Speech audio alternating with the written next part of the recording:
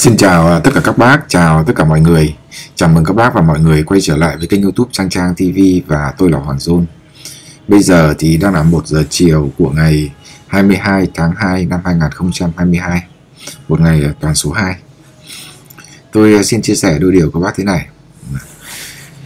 Hôm nay thì có rất là nhiều cái tin nóng nhưng mà mọi người thì tập trung vào cái tin mà anh Đức Hiển anh ấy đưa ra trên báo pháp luật à, thành phố Hồ Chí Minh, tức là tờ PLO đấy nghĩa là pháp luật online là viết tắt. Thì liên quan tới một cái người có thể nói rằng là, giống như kiểu rằng là hãy bắt tôi nếu có thể, một bộ phim rất nổi tiếng. Một kẻ mà đã lừa đảo và chui vào trong đó chui vào trong khu cách ly. Ờ, dưới dưới dưới danh nghĩa là tình nguyện viên là sinh viên. Như thế nào mà khi vào đó thì anh ta hô biến thành một cái người, hô biến thành à một vị bác sĩ, thạc sĩ bác sĩ. Và từ đó có được cái quyền hành quản lý của cả cái khu đấy và chữa trị cho rất nhiều người. Lên cả những cái tờ báo như là sức khỏe và đời sống hay là ngay cả trên trang chủ của ngay cả trên trang chủ à, ngay cả trên trang của bộ y tế. Moh.gov.vn tôi đã chia sẻ cái này ở video trước rồi. Nhưng không chỉ vụ việc này chúng ta thấy rằng là à, thường thường chúng ta vẫn chưa thấy cái thông tin của sở y tế thành phố hồ chí minh. Chúng ta cũng chưa thấy thông tin của bên phía à, bộ y tế. Chúng ta cũng chẳng thấy cái sự thông tin từ bên phía của cái tờ sức khỏe và đời sống. Và không chỉ vụ việc này đúng không ạ? Rất nhiều vụ việc khác thế. Và không chỉ là nhà nước, mà chính quyền mà cả là tư nhân nữa. Tôi xin chia sẻ với bác đôi điều, chúng ta nhìn thấy rất nhiều. Vụ cháy cái chung cư ở Sài Gòn á, lần trước mà làm rất nhiều người chết đấy và ờ, các bác thấy không? Đó vừa được đưa ra xét xử. Thì ngay cả cái vụ đó, các bác có thể à, cái thật là điểm đầu. Thì đâu thì bao gồm cũng là ngăn chặn thông tin, rồi ngăn chặn thông tin rồi ờ, rồi gì ạ? Rồi ờ, tóm lại rằng là họ làm nào ngăn chặn thì chặn. Ngay cả trên những tờ báo hay là những cái OL e các bác có thể thấy trên mạng xã hội Facebook á, thì uh, những người những người gọi là KOL e những người những bài viết thì gần như là bị xóa sổ. Điển hình hiện nay là nhờ báo Ngô Nguyệt Hiếu đã bị đặt vào cái chế độ gọi là chế độ tưởng nhớ rất nhiều nhà báo khác như nhà báo Hoàng Linh hay một số nhà báo khác thì Facebook bị sập một cách liên tục. À, sập một cách liên tục. Tôi thì tôi cho rằng thế này. Có một cái tư duy cố hữu ở Việt Nam ấy bởi vì tôi làm truyền thông và tôi hay đi tư vấn và thậm chí có một số công ty cũng muốn tôi à, làm cái gọi là xử lý khủng hoảng truyền thông. Chúng ta tạm gọi rằng là khi một cái sự cố một cái sự việc nào đó xảy ra thì gọi là cái khủng hoảng. Cái khủng hoảng này á thì xin báo cáo các bác rằng là là người dân hay thế nào đó quan tâm cái sự kiện đó và và và nó có một ý kiến nào đấy vân vân thế nhưng á đa phần các công ty ở Việt Nam hầu hết các công ty ở Việt Nam và các bác có thể thấy những sự kiện như là Vingroup, Google TV, à, những công ty Việt Nam hay rằng ngay cả chính quyền thì đầu tiên của họ là ngăn chặn cái thông tin lan truyền. Đấy, việc đầu tiên của họ là như vậy. Cái thứ hai nữa rằng là tiếp tục đi xử lý những cái việc đó. Tôi thì tôi nghĩ thế này. Thực tế, khủng hoảng truyền thông xảy ra là nó có một cái vấn đề, một cái bê bối hay một cái sự việc nào. Và nếu như chúng ta hiểu được cái bản chất của mạng xã hội, hiểu được cái cái sự việc là sự thật, thì đầu tiên là phải chắc chắn một cái điều, không thể ngăn chặn. Không thể ngăn chặn. Và cả các bạn là như thế mạng xã hội là cái mạng mà không thể ngăn chặn, kể cả trên Facebook. Anh có thể diệt được cái KOL này, nhưng có thể cái bài đăng đó là một trang Facebook khác được đăng. Và rất nhiều như thế, ngay cả trên kênh YouTube của tôi bị tấn công một cách liên tục. Cái là họ không muốn được thông tin được ra, được rộng rãi. Trong cái cuộc chiến mà tôi gọi là cuộc chiến thông tin, họ muốn thông tin được dẫn hướng, dẫn lái theo đúng cái ý của họ. Nhưng mà nếu như cái thông tin được dẫn hướng, dẫn lái mà là cái thông tin đúng sự thật, thì bản thân nó đã có nội tại là cái sức sống. Còn nếu thông tin được dẫn hướng, dẫn lái mà không đúng với sự thật, thì xin thưa với các bác rằng kiểu gì cũng đến một ngày nào đó, nó lại bung ra tiếp và nó vẫn im im chờ ở đó và chờ cái cơ hội để mà trỗi dậy. Thế cho nên nhé trong các cuộc khủng hoảng truyền thông, thì đa phần, tôi xin chia sẻ với các bác rằng là, đa phần người dân sẽ nhìn vào cách ứng xử của các anh. Ứng xử bằng cách im lặng ứng xử bằng cái cách rằng là chặn cái sự lan truyền, thì nó lại là một cái điều mà tôi nghĩ rằng là trong 20 năm tôi quan sát truyền thông ở Việt Nam á, thì những cái việc như thế nó lại càng làm cho cái mà chúng ta hay gọi rằng là đổ thêm dầu vào lửa, có thể làm tăng cái sự bức xúc tăng cái sự bức xúc và có thể nói nó nó làm cái cái cái đốm lửa tự dưng nó bùng to ra, đó. trong khi đó đáng nhẽ trong cái việc truyền thông ấy, thì cách ứng xử của anh nhiều khi nó hóa giải hóa tan tất cả mọi thứ. Hóa tan tất cả mọi thứ. Đó. giống như đơn giản thế này này. Ngày trước chúng ta phòng chống tham nhũng đúng không ạ? Phòng chống tham nhũng. Nhưng mà các báo cáo hay là gì đó mặc dù có đưa cái nội dung đó vào nhưng bao giờ cũng làm nhẹ đi. Làm nhẹ cái bản chất đi. Và chưa đưa đúng mức cái sự thật của nó. Chỉ à, mà người dân có tin không? Thì chắc chắn người ta không tin. Ở đâu đó có thể những người dân bình thường những những người mà ít có cái cơ hội tiếp cận à, về thông tin ấy, thì họ có thể không biết. Nhưng với những trí thức những người trí thức học giả những người mà có nhiều cái điều kiện để mà tiếp cận thông tin thì họ chắc chắn họ không tin. Đúng không? Họ chắc chắn là không tin. Và uh, chủ yếu là những cái trí thức những học giả và những cái người mà có ảnh hưởng lớn người ta dẫn dắt quần chúng chứ. Đâu chỉ là một một phía đâu. Có đúng không? Thế cho nên ấy, cái thông tin đưa ra để cách ứng xử của anh mới là vấn đề. Và chúng ta thấy rằng là trong những cái bài phát biểu của tổng bí thư nguyễn phú trọng thì tổng bí thư nguyễn phú trọng có một cái là nhìn thẳng vào cái sự thật. Nhìn thẳng vào cái sự thật và nói rõ về cái sự thật và khẳng định cái sự thật.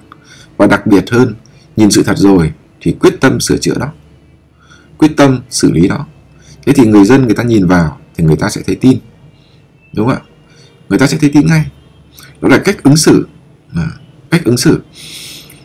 Ít nhất là với truyền thông, ít nhất là với mọi người và người ta sẽ nhìn có cách làm còn nếu chúng ta cứ bưng bít đi, chúng ta cứ không nói gì đến việc đó nữa, chúng ta cứ lấp liếm nó bằng một cái gì đó khác, hoặc là đánh giá khái niệm, hoặc rằng thậm chí quy kết, quy chụp là một cái thế lực thù địch, thì như vậy chúng ta đang làm trái lời bác hồ, trái lời tôn chỉ của đảng từ ngày xưa.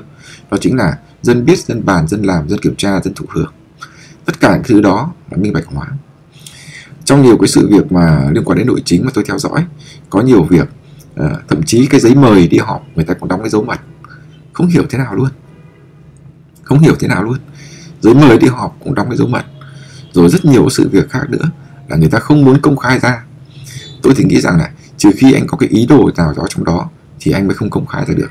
Chứ còn bây giờ với cái xã hội thông tin như thế này thì không thể báo cáo với các bác ờ, không thể ngăn chặn được và người ta sẽ biết thông tin một cách này hay cách khác. Đến ngay cả cái việc di chuyển di chuyển quân hay rằng là việc đóng quân của một số nào đó cũng không thể nào bí mật được như ngày xưa. Bởi vì vệ tinh bây giờ trên đầu chúng ta thì hàng trăm nghìn chiếc nó soi rõ từng cái cái nóc nhà một. Các bác vào Google Maps các bác vào uh, các phần mềm thì các bác thấy cái điều đó ngay. Làm sao mà giấu được trong cái xã hội thông tin như thế này? Chính vì thế là cách ứng xử minh bạch với mọi cái sự việc nó mới thành vấn đề nó mới thành ra một cái niềm tin và xây dựng được cái niềm tin đối với nhân dân. Tôi nghĩ rằng là các cấp chính quyền và ngay cả các anh an ninh cũng hiểu cái điều đó. À, cũng hiểu cái điều đó. Miễn là thông tin là đúng sự thật miễn là nói đúng bản chất thì mới xây dựng và giúp xây dựng đảng và giúp lấy lại niềm tin với nhân dân được. Chứ không phải chúng ta cố gắng bịt miệng một ai đó chúng ta cố gắng dằn mặt một ai đó chúng ta cố gắng biến báo những cái thông tin ở theo một cái chiều hướng khác đi không biến báo được. Lịch sử, ngay cả những cái thời kỳ ngày xưa à, thời kỳ à, cách đây đến hàng mấy trăm năm, thì có những cái sự kiện nhỏ vẫn lan truyền cho người dân. Thì các bác tưởng tượng rằng là trăm năm thì bia đá cũng mòn và ngàn năm bia miệng vẫn còn trơ trơ. Mọi cái câu chuyện vẫn còn lan truyền mãi với thời gian. Đó là lịch sử.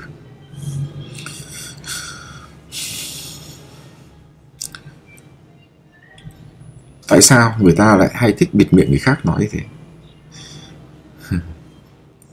Tại sao người ta lại hay thích bịt miệng người khác nói như thế?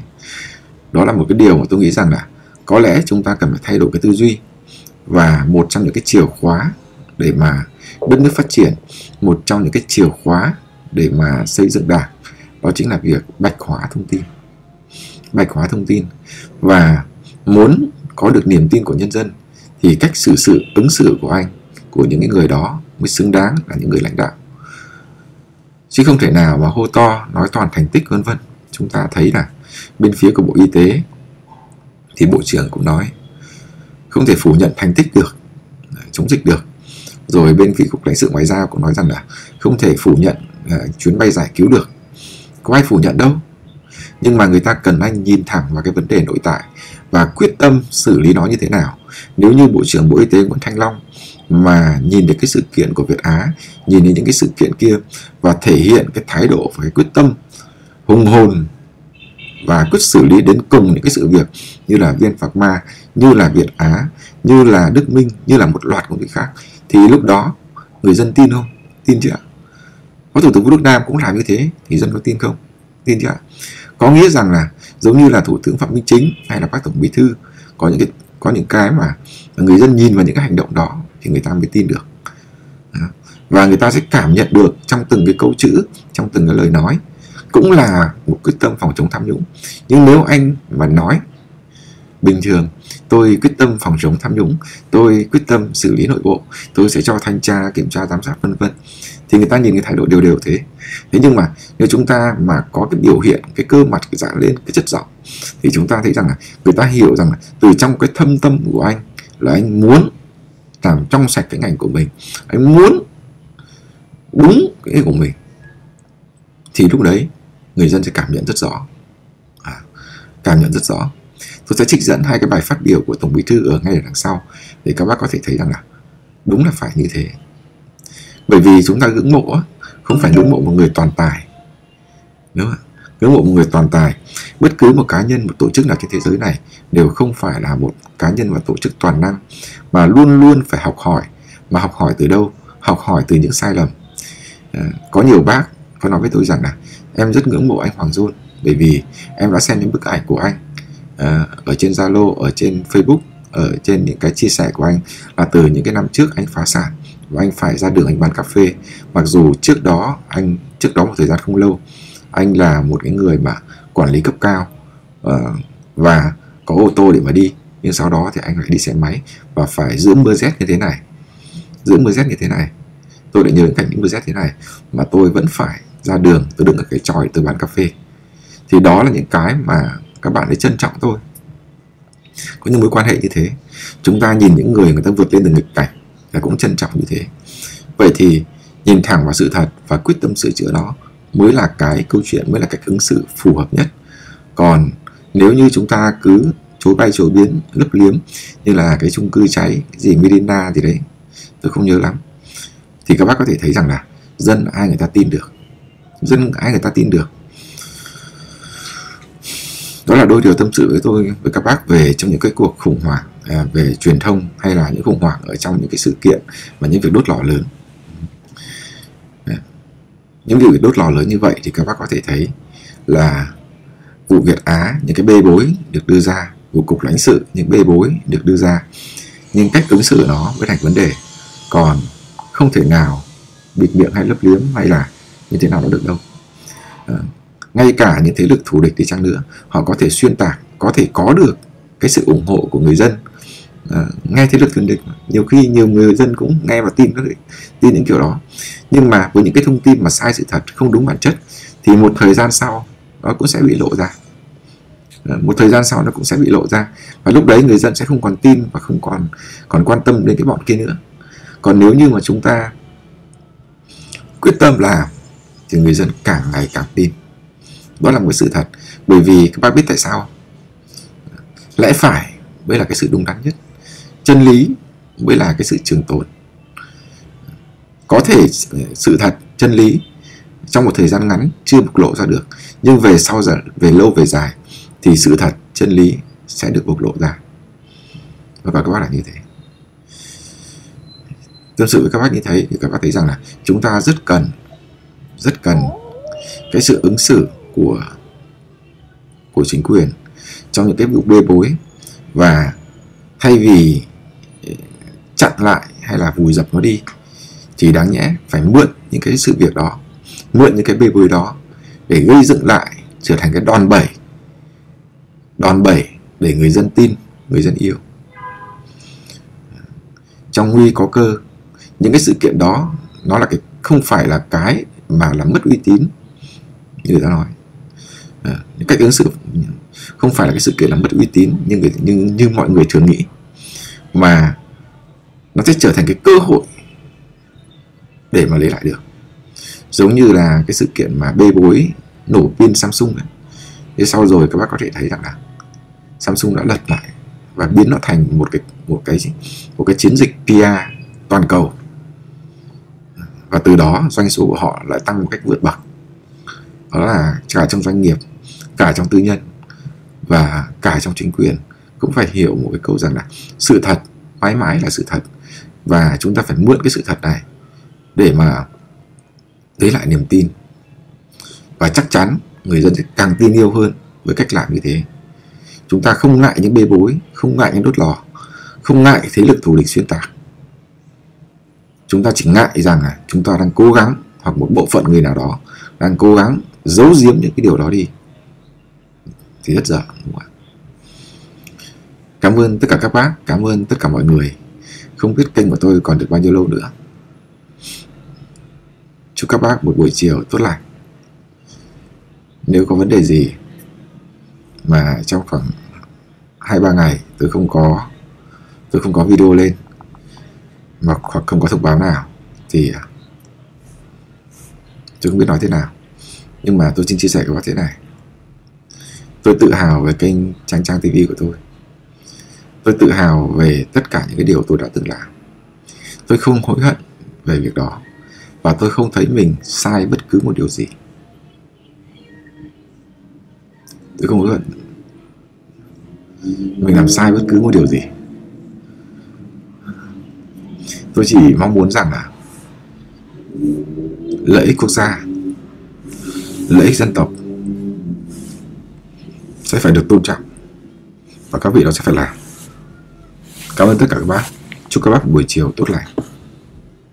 Trong việc chỉ đạo tổ chức thực hiện các nghị quyết và kết luận của trung ương, nhất là về doanh nghiệp nhà nước, còn lúng túng, buông lỏng, kiểm tra giám sát không chặt chẽ, dẫn đến một số tập đoàn kinh tế nhà nước, tổng công ty nhà nước mà điển hình là Vinashin Vinalai hoạt động kém hiệu quả, có nhiều sai phạm, gây tổn thất lớn, để lại hậu quả hết sức nghiêm trọng một số hạn chế khuyết điểm chưa được làm rõ thực chất, mức độ, địa chỉ cụ thể, ai phải chịu trách nhiệm như tình trạng chạy chức, chạy quyền, lợi ích nhóm, vân vân. Bộ chính trị, ban bí thư đã nghiêm túc tự phê bình và thành thật nhận lỗi trước ban chấp hành trung ương về những yếu kém tồn tại trong công tác xây dựng đảng. Những suy thoái tiêu cực trong đội ngũ cán bộ, đảng viên như nghị quyết trung ương 4 đã nêu. Mặc dù nhiều khuyết điểm hạn chế có từ các khóa trước, nhưng với trách nhiệm chính trị của cơ quan lãnh đạo hiện nay, bộ chính trị và từng ủy viên bộ chính trị tự nhận thấy sâu sắc trách nhiệm chính trị của mình trước những khuyết điểm hạn chế đó.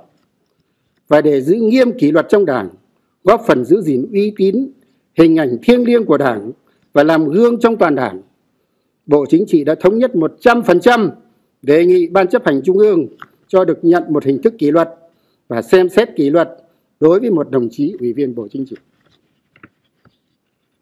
Ban chấp hành trung ương hoan nghênh, đánh giá rất cao sự nghiêm túc, gương mẫu và cầu thị của bộ chính trị ban bí thư trong kiểm điểm tự phê bình và phê bình đợt này, cũng như sự quyết tâm nỗ lực lớn trong lãnh đạo chỉ đạo thực hiện, triển khai thực hiện nghị quyết trung ương 4 nhất trí cao với báo cáo của bộ chính trị, đồng thời đóng góp nhiều ý kiến phê bình rất thẳng thắn, sâu sắc. Kinh nghiệm lịch sử đảng ta cho thấy, một khi đảng tự nhận ra sai lầm khuyết điểm và tự giác, tự nghiêm khắc, quyết tâm khắc phục, sửa chữa, thì sức mạnh của đảng càng được nâng lên, uy tín càng cao hơn, nhân dân càng tin yêu và ủng hộ đảng trong bối cảnh đầy khó khăn thách thức hiện nay, điều đó càng hết sức cần thiết. Đó cũng chính là một bài học sâu sắc, một nhân tố quan trọng bảo đảm cho sự vững mạnh của đảng, bảo đảm sự ổn định chính trị và sự phát triển bền vững của đất nước. Về việc đề nghị xem xét kỷ luật ban chấp hành trung ương đã thảo luận rất kỹ, cân nhắc toàn diện các mặt ở thời điểm hiện nay và đi đến quyết định không thi hành kỷ luật đối với tập thể bộ chính trị và một đồng chí trong bộ chính trị. Và yêu cầu bộ chính trị có biện pháp tích cực khắc phục, sửa chữa khuyết điểm, không để các thế lực thù địch xuyên tạc, chống phá.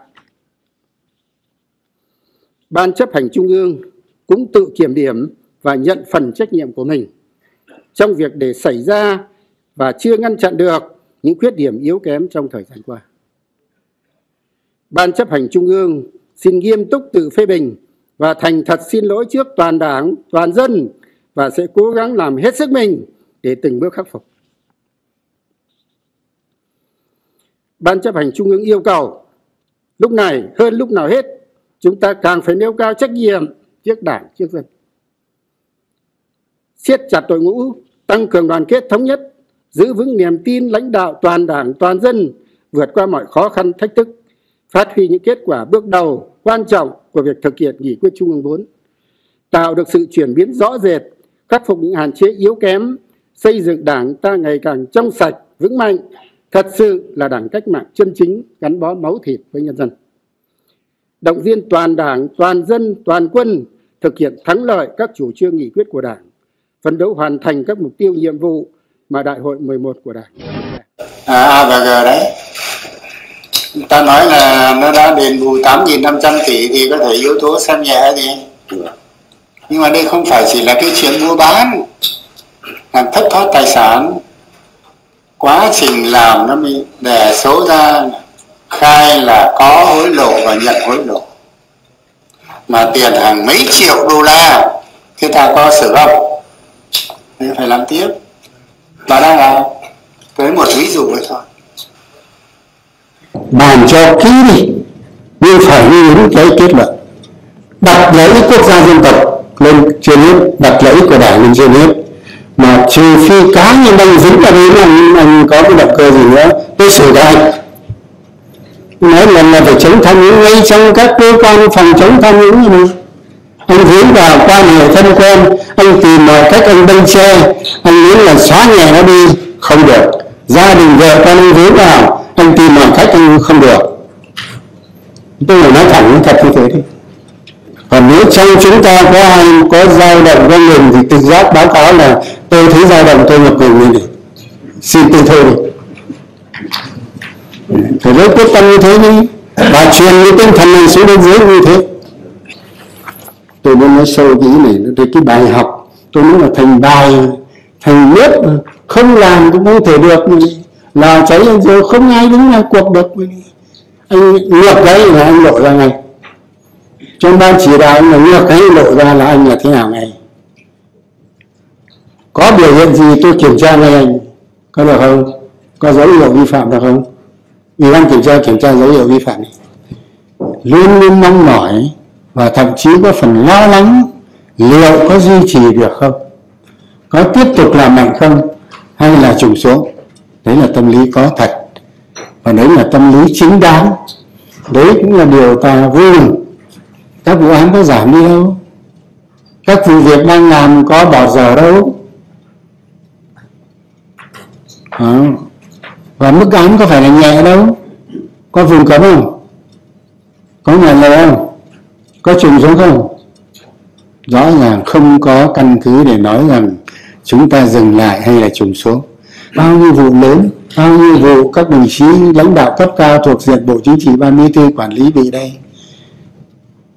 Bao nhiêu đồng chí ủy viên trung ương nguyên ủy viên trung ương bị đây? Tướng trong quân đội, trong công an bị đây? Gần đây nhất mới thi hành kỷ luật, nguyên ủy viên trung ương, nguyên phó thủ tướng vũ văn ninh đây. Mới đây thôi mà tôi đã nói nhiều lần rồi, nếu như chưa có được thống nhất cao, ta theo nguyên tắc tập trung dân chủ. Thiểu số phục tùng đa số. Không phải chỉ căn cứ vào luật pháp thuần túy, căn cứ vào ý thức đảng, nguyên tắc tổ chức của đảng. Cách làm phải theo tập thể, không cá nhân nào được lèo lái như chỗ này cả. Chứ tôi bảo là bây giờ anh nào không làm cũng không được, anh lảng tránh cũng không được. Kể cả những cái cơ quan có đủ quyền lực, muốn lảng tránh, không lảng tránh được cái cơ chế buộc anh phải thế này.